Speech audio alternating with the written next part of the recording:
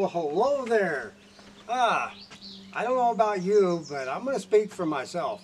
I spend more time looking for my snuffer bottle than I do anything else besides my glasses when I'm out prospecting. So I come up with an idea to keep track of my dang snuffer bottle. It is the handy snuffer because this is the handiest dang tool I think I've ever made. It's pretty dang neat. So this snuffer bottle holder is uh, created out of flexible rubber and it never has to come out of the sleeve. You just leave it in there. It's got little holes in it that makes it easy to squeeze and it actually adds a little more power to the snuffer bottle because it wants to go back to its original form. So that's pretty dang cool. It's got a little pet carabiner clip on it.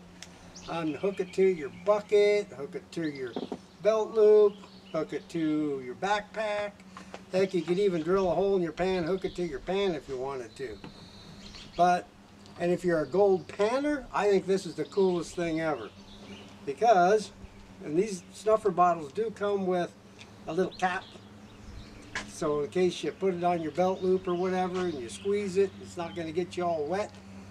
But this is a retractable keychain. Think about this. If you're out panning, you're down at the creek and you're panning away, and you need to suck up your gold, why not that?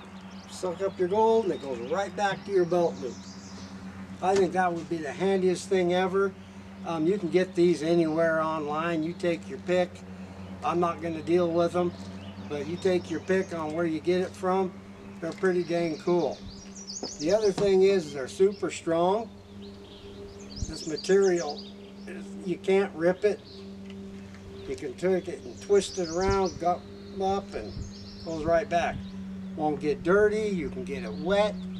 You can get it dirty. It doesn't matter. You don't have to wash it. It can get wet. You're not going to hurt it a bit. Um, put these little caps back on here. So it is strong. I think everybody needs one of these. I think I'll just call it the handy snuffer because it is dang handy. Um, strong. Oh, and I did check all my other snuffer bottles that I own. They do fit in here, so a four ounce snuffer bottle. I mean, I own a bunch of them and I put every one of them in here and they fit just fine. Ah, I kind of like these bottles though. They're nice and clear. You can see through them and I like the cap. So anyway, I think everybody needs one of these. And please let me know in the comments what you think of this little gadget. Um, it's pretty dang cool. So you can get them at printingprospectors.com. I think we're going to sell them in a two-pack.